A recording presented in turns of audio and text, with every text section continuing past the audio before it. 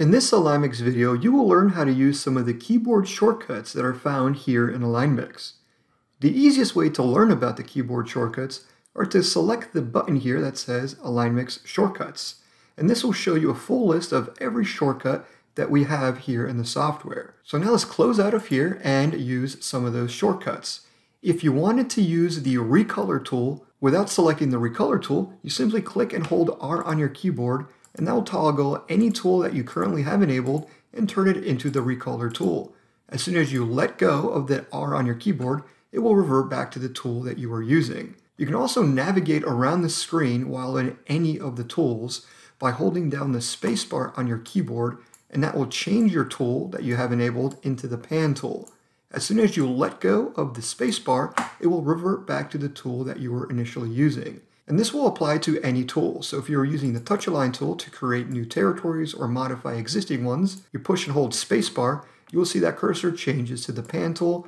You can then pan around, let go of the spacebar, and that cursor will return back to the touch align tool. Let's say we're using the touch align tool and we're trying to create territories that hug state boundaries. And you can try to do that as carefully as possible and try to follow those lines, but eventually you will cross over. If you hold control on your keyboard while using the touch align tool, that will force you to hug the state boundaries, just like that. Using the touch align tool, you can also expand your territory into another part of a different territory by clicking and holding B on your keyboard. So here I've selected territory 301 and clicked B on the keyboard. I hover over to 308 and let go of B, and you can see I've created a satellite area for territory 301.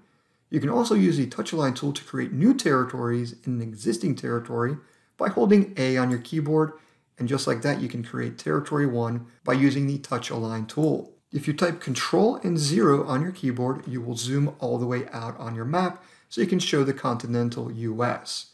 So let's zoom back into an area here like Alabama and keep an eye on my cursor. I can expand the size of the touch align tool by pushing the bracket buttons on your keyboard like so. So if you wanted a bigger cursor, you would make it much bigger by expanding it using the right bracket. To make it smaller, you would use the left bracket.